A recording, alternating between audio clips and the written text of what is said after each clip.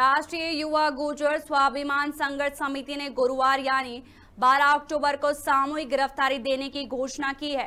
संघर्ष समिति के राष्ट्रीय अध्यक्ष रविंद्र सिंह भाटी ने जारी एक प्रेस नोट में बताया कि वह लोग पाँच सूत्रीय मांग को लेकर ग्वालियर में सामूहिक रूप से अपनी गिरफ्तारियाँ देंगे। वहीं मामले को लेकर ग्वालियर प्रशासन का दावा है कि उन्हें गुरुवार को होने वाले गिरफ्तारी कार्यक्रम की कोई सूचना नहीं है।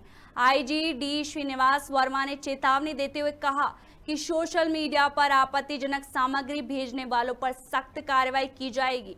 आईजीडीजी श्रीनिवास शर्मा ने लोगों से आचार संहिता दिशा निर्देश का पालन करने की अपील की है। रविंद्र भाटी ने बताया कि भिंड में बोरेश्वर मंदिर से गुर्जर प्रतिहार शासक का नाम, जो पूर्व से अंकित था, उससे हटाया गया है। उसे पूर्ण स्थापित किया जाए। इसके अलावा फर्जी एनकाउंटर में यूपी पुलिस की ओर से मारे गए आकाश गुर्जर के परिजनों को आर्थिक मदद की जाए। 12 तारीख 12 अक्टूबर को कुछ संगठन द्वारा आंदोलन और जेल बरों की ऐलान किया गया था। जैसे कि आपको मालूम है, कल दिनांक को मध्य प्रदेश में चुनाव आयोग द्वारा आचार संहिता और चुनाव डेट का घोषणा की गई।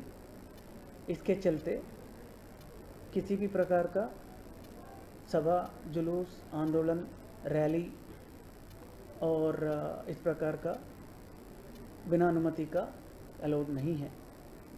तो प्रशासन, आचार संहिता को पालन करने के लिए भी कटिबद्ध है। इसी के साथ हम जो भी संगठन है, सभी से अनुरोध भी करेंगे कि कानून को रेस्पेक्ट करें ताकि शांति व्यवस्था